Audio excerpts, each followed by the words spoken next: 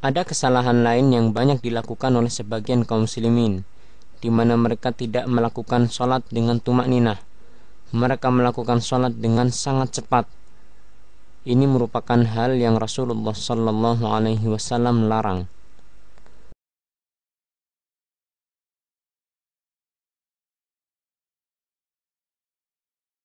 Sebagian kaum muslimin, tatkala mereka sedang sholat, kemudian ada orang yang hendak melewati di depannya, dia tidak mencegahnya.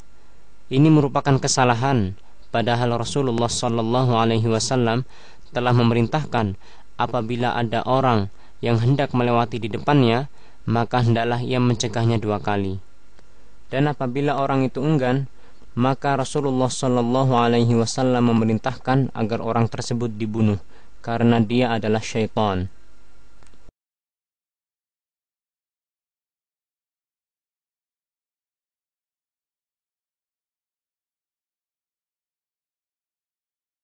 Tatkala salam, ada sebagian dari kaum muslimin yang mereka membuka telapak tangan kanan tatkala mereka salam ke kanan dan membuka telapak tangan kiri tatkala salam ke kiri.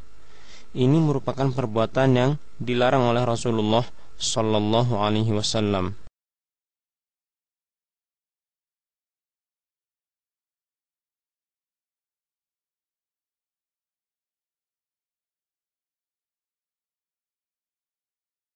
Perbuatan mengusap muka setelah sholat adalah perbuatan yang sama sekali tidak dicontohkan oleh Rasulullah Sallallahu Alaihi Wasallam.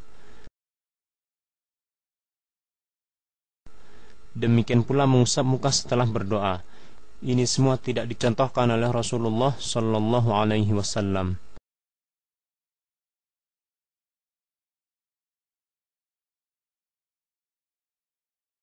Sebagian dari kaum muslimin tatkala mereka menjadi imam dalam sholat, mereka tidak meluruskan soft terlebih dahulu. Ini merupakan kesalahan karena Rasulullah Shallallahu Alaihi Wasallam beliau senantiasa meluruskan soft terlebih dahulu sebelum memulai sholatnya.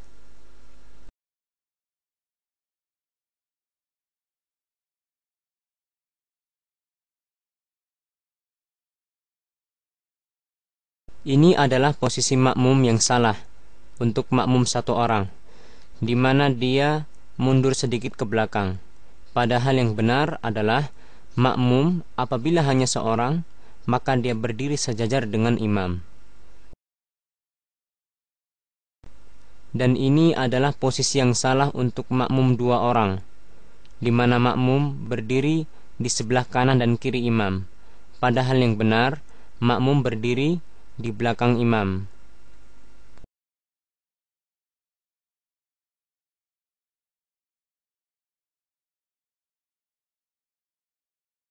Sebagian dari makmum masbuk atau makmum yang terlambat, tatkala mereka mendapati imam sedang sujud, mereka tidak langsung sujud. Akan tetapi mereka menunggu terlebih dahulu imam berdiri, baru kemudian mereka memulai sholatnya dengan takbiratul ihram. Ini merupakan kesalahan karena Rasulullah Shallallahu Alaihi Wasallam memerintahkan kepada makmum yang masbuk untuk langsung mengikuti gerakan imam tanpa menunggu terlebih dahulu.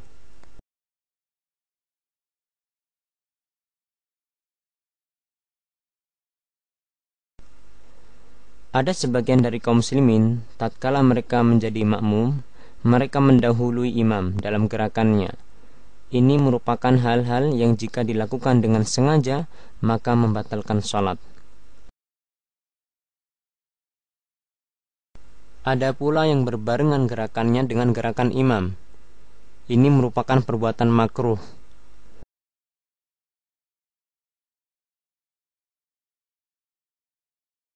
Dan ada pula yang mereka terlambat jauh dari gerakan imam terlambat jauh dari gerakan imam mempunyai hukum sama dengan mendahului imam. Apabila dilakukan secara sengaja, maka bisa membatalkan sholat itu sendiri.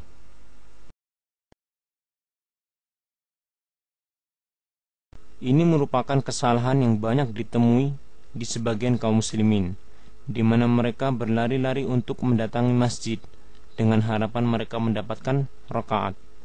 Padahal Rasulullah Shallallahu Alaihi Wasallam telah memerintahkan dengan sabdanya, "Idza ataitumus salata fa'alaikum bisakinah, fama adraktum fasallu, wama fatakum fa'atimu." Rawahul Bukhari wa Muslim.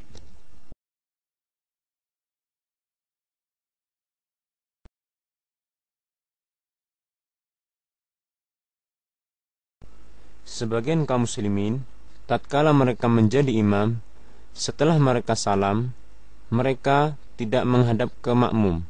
Ini merupakan kesalahan karena Rasulullah Shallallahu alaihi wasallam setelah beliau salam dan membaca doa astaghfirullah astaghfirullah astaghfirullah kemudian Allahumma antas salam wa salam tabarakta ya dzal jalali wal ikram beliau membalikkan badannya dan menghadapkan ke makmum